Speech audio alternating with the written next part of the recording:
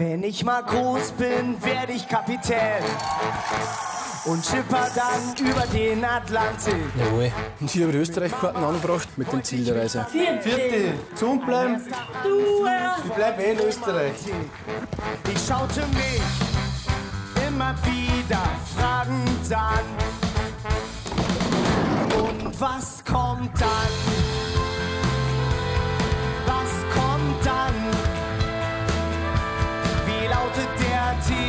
Titel vom nächsten Kapitel? Was kommt dann? So, ich bin heute da beim Schwarze unterwegs. Der ist bei Kitzbühel und boah, da ist kitschig schön. Morgen. Du, Entschuldigung, Überfrage. Bist du zufällig von da? Ja? Servus, Michi Reisiger. Hey, Katja, grüß dich. Zwei Überfrage. Ich bin Dokumentarfilmer. Ja. Kennst du bei euch wo Originale in der Gegend? Kitzbühel oder spannende Leute? Oder vielleicht bist du selber interessant? Spannende Leute. Boah, bei Insta spannende Leute. Ja, Das ist nur schön. Aber das habe ich schon gesehen. Bist du Kitzbühlerin? ja, ja. Bin Kitzbüllerin. Ja. Ich bin, ja, bin Kitzbüllerin und ich bin Friseurin und das bringt auch meine spannende Frisur mit vielleicht. Aber als Friseurin müsstest du eh viele Leute kennen da. Du müsstest den Hansi suchen, den Hansi Hinterseher. Ja, den kennt ja jeder. Der, ja, den kennt jeder, aber der kann da viel erzählen. Ist der cool so? Der war ja, der ist voll cool. Na, Das ist wirklich? Ein netter Hackel, ja, voll. Ja. Ist ja nicht, dass man glaubt, das ist ein Star und. überhaupt nicht. Er ist echt ein netter Hackel. Das ist Na geil. mit dem, ich weiß nicht, also der hat ganz viel du für Kitzbühel, gell, so mit dem Skirennen und Ja, aber so wie es bei euch ist, ihr lebt ja vom, von dem Tourismuswahnsinn. leben Ne? vom Tourismus, ja. Bei uns ist nur Tourismus. Wenn, wenn man dann schimpft und sagt, man will das nicht haben, dann was war Kitzbühel dann? Ne? Genau, Kitzbühel war dann eigentlich nichts, aber sie schimpfen im Prinzip Dächter und Dächter dann so ihre eigene Oma verkaufen, nur damit sie mehr Geld haben. Wirklich? Bei uns da legen die, Wer- die Leute schon ganz viel Wert auf das, was du hast und wer du bist. Er ist lieb. Ist er er oder sie? Sie, Wie heißt's? Itzi. Und dass du weggegangen von Kitzbühel?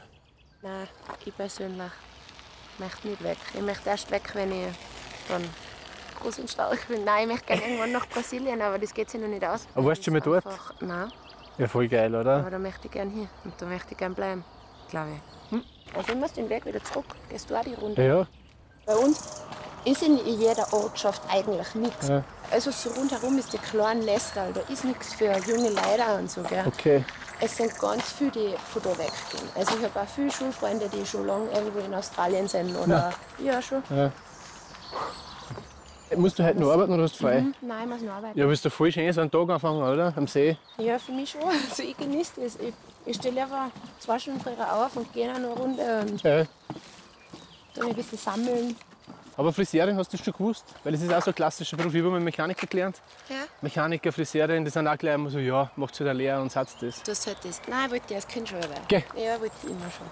Also Haarschneiden war aber schon mein Favorite. Das Barbies und Puppen und meine Cousins und Cousinen und unsere Katzen. Und Und als nächstes kommt der Hund dran.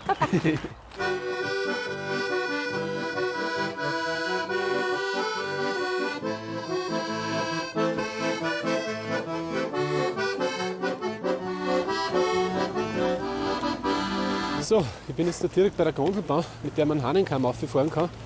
Und jetzt bin ich gespannt, wie die Streif im Sommer ausschaut.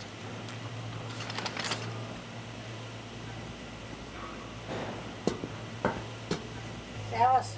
Grüß dich. Du bist eh von da, Kitzbühlerin. Ja, ja. Wie viele Leute wohnen wirklich da in Kitzbühel? Ja, ca. 8000. 8000. Das ist eine Stadt, ne? Ja. Nicht so erstaunt, ich hab's gemeint, waren 700 Jahre. Aha. Du, das da hinten ist ein Golfplatz. Golf haben wir die. Wahnsinn. Da ist auch nicht dieses der älteste, der ist schon über 50 Jahre da drin. Da hinten der. Der, über. der hat gerade neun Holen. Ah, okay. Du hast selber auch Golf spielen? Nein. Nicht. Habe ich einmal in Amerika, aber In Amerika warst ja, zweimal war ich in England zuerst. Zuletzt war ich dreieinhalb Jahre in Amerika. Boah. Und, und da bin ich heimgekommen, 66 Jahre bin ich heimgekommen und seitdem bin ich nicht mehr weiter, recht weit gefahren. Wirklich? Ja. Und geht da nicht an? Nein, absolut nicht. Heutzutage brauche ich das alles nicht mehr. Kriegt man da innere Ruhe, dass man weiß, man hat es eh schon gesehen, so quasi schon? Das ist eh Auch, schön. Ja, auch, ja. Bist du auch schon oft runtergefahren im Winter, so mit den Skistreif? Von jedem Tag. Wirklich? Ich gehe jeden Tag Skifahren. Boah, schön. fast jeden Tag, je nachdem, wenn es sehr windig ist. Also wenn wir halb Länge vom Auf, halb drei Viertel elf sitzen wir im Gasthaus oben Ja. und dann laufen trinken und halb zwölf so circa fahren wir die Strafe an. Ja, super, oder? Toll.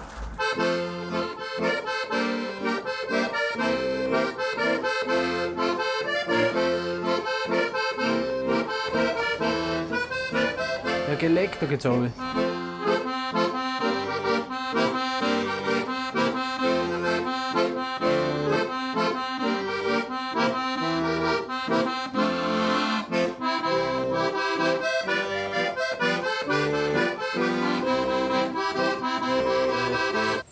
Der Fett. Hm, Das schaut aus, als hätten die die Streifadern. Grüß euch. Servus, Michi Reisecker. Gibt der Tan so? Grüß dich, ja, Servus. so. Servus, grüß dich. Wir, Michael. Michi Reisecker. Sagt ihr Adel auch? Suden. Suden. Suden, ja. Suden, das ist interessant. Bei uns Adel. Ja, oder? Aber das heißt, da wo die Skifahrer drüber kurven im Winter, ist die, im Sommer die Scheiße vor die Kier. Genau. Der Adel. Das ist ganz eine normale Oder- Landwirtschaft. Ganz eine normale, wie gemalt wird, Ja, wird was gemacht. Wenn wir wer Gäste haben, und da überhaupt bei den jungen Mädel, ja, die sind ja noch mehr Veganer und so Zeug. Und, und die essen auch kein Rindfleisch nicht. Das ist so eigenes Fleisch für uns. Nicht? ja. Und dann sage ich, wenn es jahrhundertelang keine Rinder gegeben hätte, ich gesagt, dann konnte es gar nicht Skifahren. Ich gesagt, weil er war alles Wald. Ich gesagt, wer, wer hätte das freigehalten? Wer hat das so, ja? Und, die, und die Almen sind halt durch das, dass die Viecher rum sind, ist halt das freigehalten und dann kann man halt Skifahren. Ne? Ah, ja. Das ist so gut. Aber das heißt, ihr lebt von der Landwirtschaft? Der Wintertourismus. Schau, Ja, ja. mit allem oder was? Leben der wir für die Gäste. Ja. Und Aber es ist so bei euch, oder? Braucht es beides? es braucht beides. Landwirtschaft allein war Ja. unmöglich zu ja, überleben. zu denen sieht man es klar. Okay. Wir haben, wir nur vier Hektar zum Mahnen. Ja. Dafür habt ihr eine Wahnsinnsaussicht da herum. Aber wenn man so schaut, es gibt schon noch viele Bauernhöfe auch bei euch, oder? Es sind ungefähr 80 Bauernhöfe in Kitzbühel. 80. Ja, 80. Und davon sind aber noch, ich schätze jetzt einmal 60 Bauern, die noch aktiv sind. Es werden schon ein Jahr weniger. Ja. Und, und die anderen werden halt aufgebacht oder dazugebacht. Ja. Aber es ist eh noch viel. Wenn du so hörst, im Bornhaus, wenn die Gäste sagen, ja, in ihrem Dorf sind nur mehr zwei Bauern oder Genau. drei Bauern oder vier Riesenbauern. Ja. Also von dem her sind wir noch relativ klar strukturiert. Aber das wird auch ein Jahr äh, werden weniger. Ja. Aber dafür ziehen viele her nach Kitzbühel, oder? Das ist ja okay, sagen wir, was ich, wenn jetzt, äh, wenn jetzt verbauen oder irgendwo auch siedeln und dann da arbeiten und wohnen da und haben die Kinder da in der Schule, das ist ja okay, nicht? weil das ist ein normaler Zuzug. Und das sind dann auch wieder Einheimische. Aber wenn eben äh, andere äh, aufkaufen, was dann auch keine Kinder mehr da haben und was nur mehr einen Alterswohnsitz da Oder haben, drei Wochen im Jahr. oder Ja. für drei Wochen im Jahr, Ja. da sind ja Siedlungen da drüben, die was ja dreiviertel Jahr alles finster ist im Jahr. Die quasi nur zum Rennen kommen oder wann auch immer. Wohnen kann rennen. Da ging es jetzt hier wahrscheinlich 365 Tage im Jahr herum. Und Urlaub und so Wenn man will, geht alles. geht auch. Nein, wir sind 363 Tage herum. Okay, Drei Tage fahren wir vor Zwei, der zwei Tage fahren wir auf. eh so viel. Ja, nein, es ist eh fast schon zu viel. Na gut, ich halte euch nicht mehr auf. Viel Spaß in Kitzbühel. Dankeschön. Viel Spaß beim Suden. Servus.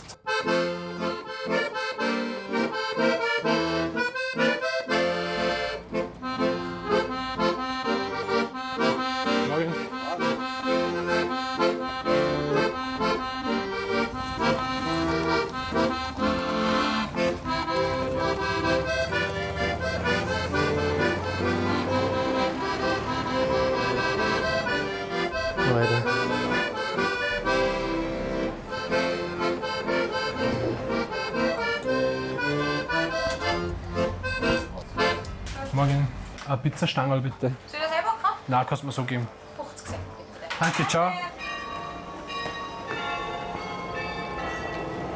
Morgen. Entschuldigung, sind Sie aus Kitzbühel zufällig? Nein, Ich bin Dokumentarfilmer und ich suche einen Immobilienmakler. da gehen Sie da gerade durch, durch das Tor durch. Mhm. Und nachher ungefähr noch 500 Meter rechts, da ist ein Haus. Und im ersten Stock kommt einer. Super. Und wie ist so zum Leben da? Wir leben da, ja, für Pensionisten sehr angenehm. Aber man muss es leisten können, oder? Aber es leben ja hier auch normale Leute. Schon auch. Ja, ja. Aber in Kitzbühel aufgewachsen oder herzogen? heuer geheiratet. Das ist auch gut. Ja.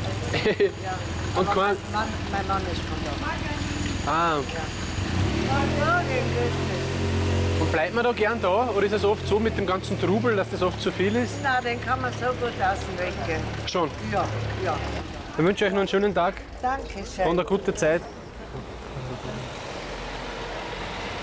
Real Estate. Hallo, morgen. Grüß dich. Hallo, Michi Reisiger.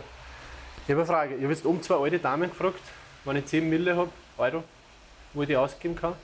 Haben sie mir zu euch geschickt. Sehr nett. Bitte. Und zwar ist es aber so, ich bin Dokumentarfilmer. Ja. Da ist die Kamera, Ah, nett, ah, super. da ist das Mikrofon. Ah, Sachen gibt's. Und so bin ich unterwegs. Ja, ja, du mir da was sagen? sowieso. Ja, cool. Ah, und das ist der Family. Das ist mein Vater, Achso, der Senior. das ist mein Sohn. Wahnsinn. Und auch der Sohn ist auch schon mit dabei. Der Sohn ist Gott sei Dank auch schon mit dabei. Und meine Frau ist auch dabei und so. Ja, nicht schlecht. Aber Konkurrenz habt ihr sicher für den Kitzbühel, oder? Ungefähr 60 Makler wird 60. Wir sind seit dem EU-Beitritt ist das halt exportiert. Ich meine, Okay. wir haben Prüfungen gemacht, die haben ein Jahr gedauert und so. Ja. Jetzt kommen halt Ketten, was weiß ich, von Deutschland oder so, aber da muss man durch. Muss man sich arrangieren, ne? Jeder lebt in seiner Zeit. Ja. Aber macht es ein bisschen das Reich und schön in Kitzbühel. Natürlich, man wächst mit dem auf, aber man Ja. darf nie vergessen, wo ist man selber her. Wir sind immer bodenständig gewesen. Ja. Die Großeltern waren Bauern äh, und so weiter. Also wir sind da sehr, wie soll ich sagen, sehr normal. Ja. Muss man auch sein. Weil durch den ganzen Glanz und Glamour, den es da sicher im Winter hauptsächlich gibt, äh, darf man sich nicht verleiten lassen und auch nicht blenden lassen. Okay. Aber wir leben von dem, wir brauchen das genauso, aber nur das geht auch nicht. Ja, ja. Es, es, es, es bedarf sicher eine gesunde Mischung. Servus. Aber das Schöne ist ja da, wenn ich jetzt Ich wollte gerade sagen, wir gehen eine Minute und du kennst drei Leute und man kennt sie einfach auch noch. das will jetzt doch irgendwo doch ein Dorf bleiben. Schon. Ja. Das Friseurgeschäft da, da haben wir angefangen, mein Vater. Nein. Mein Vater war ein super Friseur, war eine Persönlichkeit und ich selber war 20 Jahre Friseur und das war unser Geschäft. Und in dem Geschäft haben wir angefangen Immobilien vermitteln. Ja. Da haben wir die Leute gehabt, die einen Haarschnitt leisten können, haben sie auch Häuser leisten können und Wohnungen. die haben dann gefragt, weil der Friseur immer alles weiß. Ja. Äh, haben natürlich gesagt, ja, wisst, weiß man nicht eine Wohnung oder ein Haus oder das und da ist das eigentlich geboren. Ja, voll cool. Ah, du hast noch Friseur gelernt? Ja, ja, ich, ich, ich war- habe auch viel Preis frisiert. Okay. War bei Weltmeisterschaften, bei Europameisterschaften. Ja, ja cool. Ah, sind wir schon da? Preislich ist so ungefähr im Schnitt bei 10.000 Euro der Quadratmeter. 10.000 Euro Quadratmeter. Sowas, ja. Das heißt, die hat 100, äh, ist ungefähr eine Million Euro Verhandlungsbasis. Okay. Also von der Lage ist das die Top-Lage in Kitzbühel. Äh, Altstadt in der Nähe, Restaurants in der Nähe, Bergbahn in der Nähe, super Infrastruktur. Da wäre jetzt der Wohnbereich eigentlich mit Blick zum Hahnenkamm, das heißt Skifahren. Da ist man Mhm. dann ein bisschen verbunden.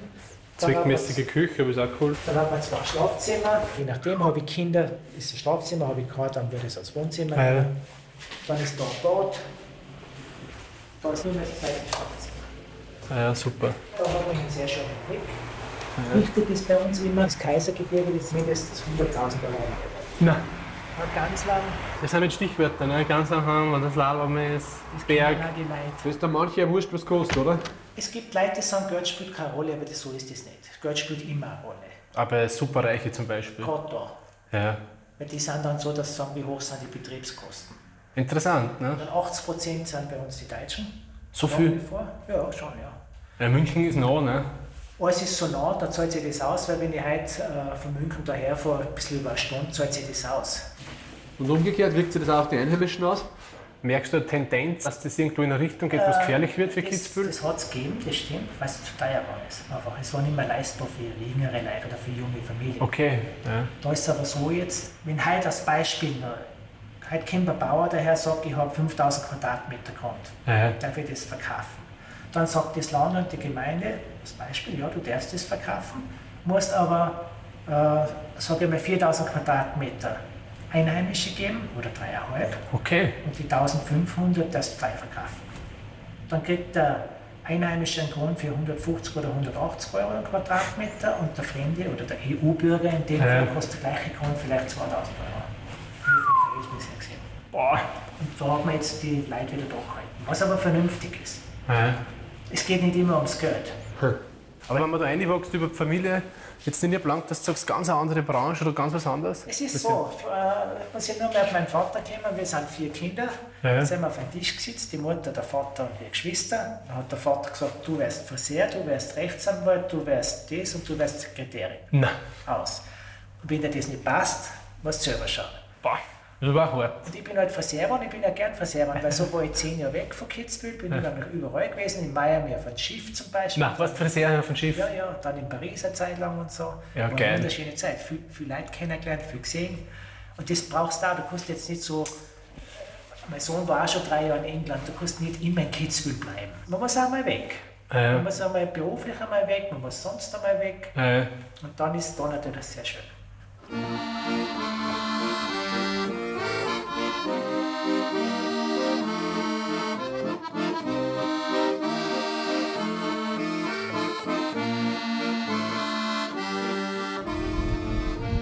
So, nach dem Einblick in die Immobilienwelt von Kitzbühel schaue ich jetzt, wenn man da am Golfplatz so trifft. Ja, Alter. Unglaublich.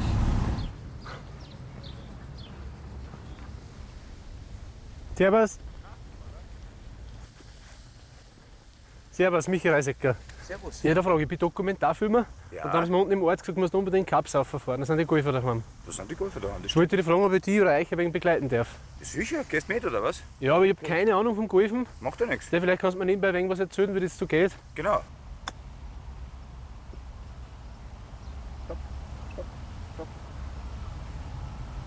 Er war nicht so schlecht. Ist- Aber du kommst schon dorthin. Also, Ja, es ist, es ist ein bisschen. Ich spiele es ja schon eine Zeit lang. Wie Jahre spielst du schon? Äh, 51 Jahre. 51 Jahre. Servus, Michi. Servus. Das ist das einzige Spiel, wo du nur den Ball berührst. Kein Mensch berührt deinen Ball. Ja. Das heißt, wenn du in Mist eingeschossen hast, dann bist du für dich verantwortlich. Ah ja. Das heißt, was einfach ausschaut, ist schon jahrelanges Training. Oder einfach nur Talent. Ich gehe zu Fuß jetzt da auf. Ja. Ich gehe da mit Michi, voll. Aber ob jetzt, wenn jetzt das Nein sind, spielt es jetzt doppelt, damit es 18 sind, oder spielt man da einfach Nein? Wir spielen halt beim Turnier natürlich, spielst du das doppelt, nicht? weil Turniere gehen immer Ja. fast also im Normalfall über 18 Loch. Und wie wird zählt? Wer am 20 wenigsten Schläge Schläge gezählt. braucht, ist der Beste. Es ist genau das gleiche wie beim Minigolf. Ach so. Boah. Das ist ein guter. Aber gut, er ist ja auch Pro, ne? Pro, du spielst wirklich hauptberuflich Golf, oder was? Nein, nein, überhaupt nicht. Ich bin Golflehrer. Okay. Also ich bin Coach. Ach so. Ich war im Golfverband tätig, davon sehr lang Nationaltrainer. Aha. Schöner Job.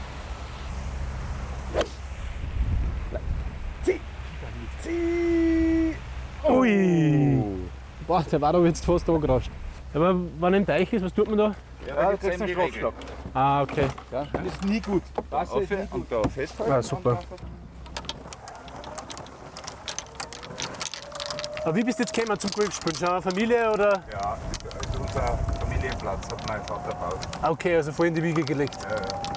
Aber oft sagen Leute, ja, Golf, reicher Sport. Stimmt das oder ist das so überholt? Von früher? Ganz billig ist er nicht, aber, aber reich allein. Nein, weil ich bin nicht reich. Das, das Verhältnis, das Ja. Verhältnis in, in welchem Aufwand du Golf spielst, was dir geboten wird, Ja. das ist sehr, sehr billig. Okay. Weil ein Tennisplatz, ich meine, ja, okay, Ich bin selber- ich baue ja mal und dann muss ich ihn zum Schluss noch selber abziehen. Ja, ja. Und was kostet mir eine Stunde? 40 Euro. Bei euch sicher, ja. Da zahle ich 70 Euro. Und hast den ganzen Tag. Sauber, Hannes. Aber mischt ihr das dann, wenn die Promis kommen, sind die dann auch da oder sind die ganz woanders in einem anderen Club? Nein, das ist, hier haben wir alle gehabt. Ne? Also von bis. Beckenbauer hat da Golf gelernt, die haben alle bei mir Golf gelernt. Ja, Beckenbauer, super. Hinterseher. Sind ja auch nur Menschen. Wir sind insofern ein bisschen, der Anführungszeichen, angestumpft, wir kennen das. Wir sind es gewohnt, wir wachsen auf damit. Ah, ja. Dass du auch Leute siehst, die du im Fernsehen siehst. Die, äh, die, die neuen Schauspieler, die neuen Sportler. Dass die auch normal sind. Dass das normale Leute sind und dass die da halt, dass denen bei uns gefällt. Ah, ja. Da sind natürlich für uns sind sie willkommen. So, jetzt geht's da hinauf und jetzt ist das Gasthaus Stolzlechner. Stolzlechner. Da hier, der hat die erste Kegelbahn gehabt. Das war früher ein Gasthaus.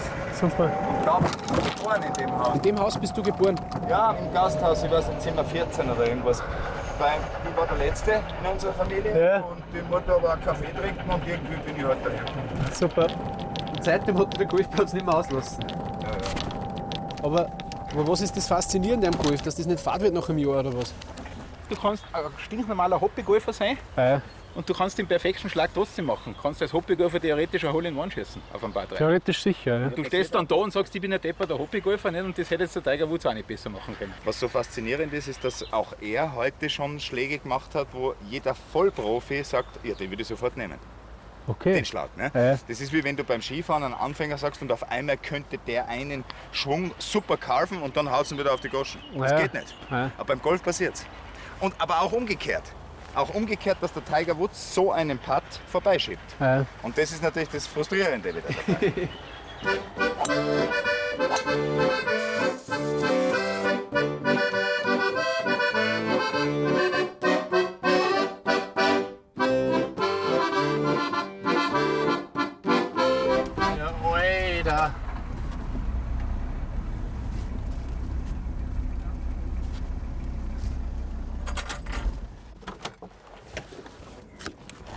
Servus. Ich hab so eine anders geile Karre.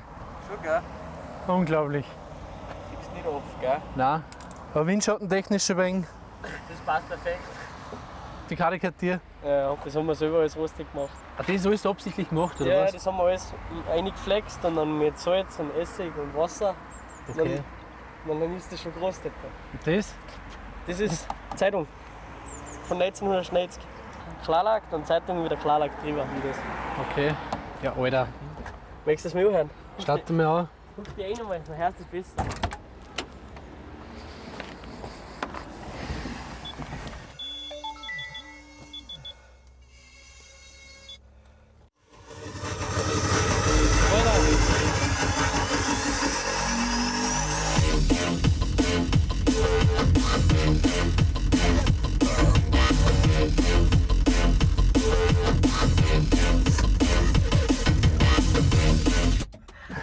Alter, den hebt's. Nein, der hebt gut. Ja, nicht mehr schlecht. Das, er brüllt das ganze Auto. Ja, schau mal, ob das geht jetzt. Ist das für ein Sound oder was?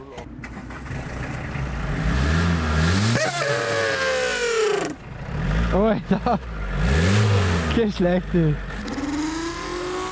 Servus, Chef. Das macht er für den Sound oder wie? Geil, oder? Ja. Aber sonst ist es echt nicht fad, oder? Ja. 0815 Projekt halt. Ja. Der hat sich von Kitzbühel. Aber wie ist das so, wenn man jung ist, so zum Leben? Scheiße. Ja. Wie geil. Ah, da ist richtig scheiße. Wieso? Ja, weil sie nichts machen für die Jugend. Gell. Gar nichts. Aber es sind eh so viele Events, oder? Ja, aber da braucht man da. Wenn es da nicht hast, dann. Weil es so teuer ist.